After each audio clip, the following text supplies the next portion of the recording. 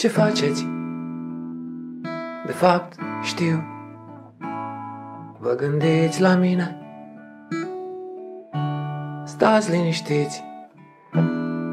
M-a durut cam rău, dar acum e bine.